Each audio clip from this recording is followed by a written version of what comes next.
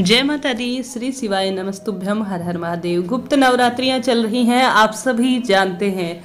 यह नवरात्रि अपने आप में खास है। गुरुदेव ने अपनी कई कथाओं के द्वारा हम सभी को घर गृहस्थी और हमारे जो व्रत पूजा पाठ है, उनको सफल बनाने के भी कई उपाय और जानकारियाँ दी हैं। इस वीडियो में वही जानेंगे।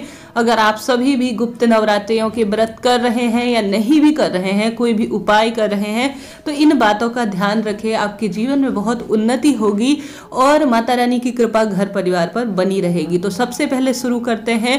पहला जो कार्य है, भले ही आप नवरात्रि के न कर रहे हो, कोई दिक्कत की बात नहीं है, कोई उपाय इत्यादि कर रहे हैं तो तुरंत इन उपायों को तो सभी को बता दें। प्रत्येक व्यक्ति को जो है, महिलाओं की आदत होती है। इनका नाम ही होता है गुप्त नवरात्रि। अर्थात गुप्त तरह से कोई कार्य किया जाता है तो आप सभी को इस बात का ध्यान रखना होगा कि इस गुप्त नवरात्रि में जो भी उपाय कर रहे हैं, विवाह के लिए, संतान के लिए, या कोई भी माता रानी का खास एक दीपक ही लगा रहे हैं तो बहुत अधिक जो है इसके लिए लोगों को बताने की आवश्यकता नहीं है। गुप्त रहकर ही जब कोई कार्य किया जाता है, कोई उपाय किया जाता है, कोई मंत्र साधना की जाती है तभी वह फलित होती है, ऐसा शास्त्रों में वर्णन है। स्वयं माता पार्वती से भगवान शिव एक बार की बात है, जब इस चर्चा को करते हुए गुरु जी कहते हैं, वह कहते हैं कि महिला को हमेशा धन की बात और अपने संतान की बात, अपने परिवार की बात बाहर कभी नहीं बतानी चाहिए। जब आप कोई मंत्र जाप कर रहे हैं, कोई पूजा इत्यादि, पाठ इत्यादि कर रहे हैं, अगर आप उसे लोगों को बता देते हैं तो आप हँसी के पात्र बनते हैं।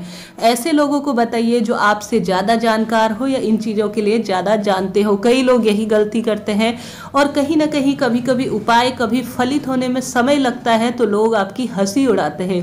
देखिए, इसको तो बहुत अधिक विश्वास था अपनी माता रानी पर। देखिए, इसको तो बहुत अधिक विश्वास था अपने भगवान शिव पर। देखिए, इसकी कब मनोकामना पूरी होगी? आप जो है भक्ति के राह से डगमगाने लगेंगे और जीवन में कहीं ना कहीं आपको ऐसा लगेगा कि अब मैं क्या करूँ, क्या मुझे यह पूजा करनी चाहिए या नहीं तो विश्वास कम हो जाएगा तो उपाय फलित होने के फिर स्वयं ही जो है चांसेस कम होने लगते हैं। तो इस चीज़ का आप ध्यान रखें कि कोई भी मंत्र जाप या कोई अनुभव हो रहे हो, कोई शुभ संकेत मिल रहे हैं तो इस चीज़ का ध्यान रखें कि आप सभी कहीं ना कहीं इन चीज़ों को गुप्त रखें और अपने तक ही रखें। जब कार्य हो जाए तो ज़रूर आप खुशी से सबको बताई है तो बहुत अच्छी बात है कि किसी को बताना, भगवान का प्रचार प्रसार करना तो धर्म का कार्य है। तो आप सभी को पहला ध्यान रखने योग्य बात यह है। तो इन दिनों आप सभी दूसरा कार्य कोई भी कर रहे हैं तो माता रानी का श्रद्धा भावना से करें, किसी आडंबर से न करें, किसी को दिखावे से ना करें। कभी कभी जो मैं कहती हूँ कि बिना मनोकामना के भी साधारण, सरल तरीके से माता रानी को, माता रानी मानती हैं, आपके कण कण में, पूरे शरीर में विद्यमान है। आप बिना कहे भी उनकी सेवा करते हैं या पूजा करते हैं तो माता रानी आपसे स्वयं प्रसन्न हो जाएँगी।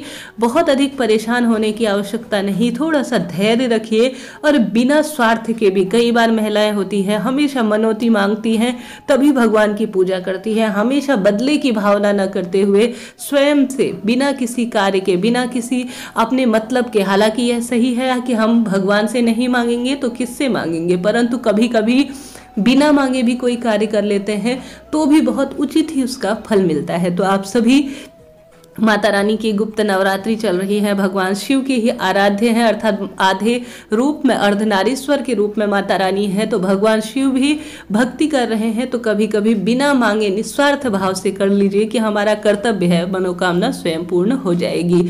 और साथ ही कभी कभी किसी के लिए भी बुराई के लिए रूप में ना करे। कोई भी कार्य करे प्रदीप मिश्रा जी गुरु जी हमारे भी कहते हैं। साथ ही आपने भी पढ़ा होगा, निर्मल मंजन सो मोहे पावा, मोहे छल छिद्र कपट न भावा।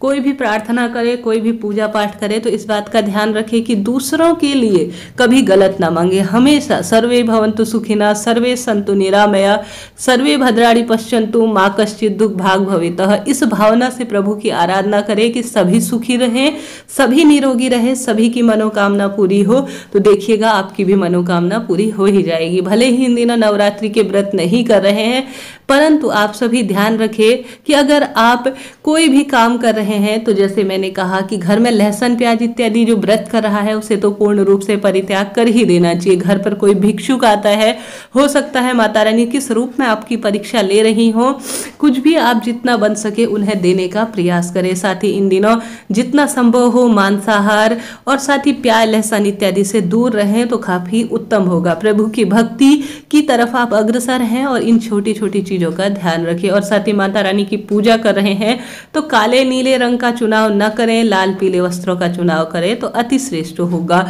इस तरह से कोई भी कार्य करते हैं तो भावना सच्ची रखिएगा। छोटी छोटी सी साफ़ सफ़ाई कहने का अर्थ है, माता रानी के सामने जब शाम के समय दीपक लगा रहे हैं, नहा नहीं सकते तो कुल्ला कर लीजिए, जल की छीटे अपने ऊपर डालते हुए माता रानी की पूजा को संपन्न कीजिए। देखिएगा, आपके जीवन में स्वयं ही परिवर्तन होता चला जाएगा। माता रानी मात स्वरूप में है, आप छोटी सी ही पूजा करेंगी, उन्हें मान्य होगा। घर की साफ़ सफ़ाई का ध्यान रखें और स्वयं की भी साफ़ सफ़ाई का ध्यान रखें। हालाँकि नियम तो कई हैं, परंतु मैं सरल, साधारण तरह से आपको बताने, समझाने का प्रयास कर रही हूँ। मिलते हैं इसी तरह की अगली वीडियो में। जय माता दी, हर हर महादेव।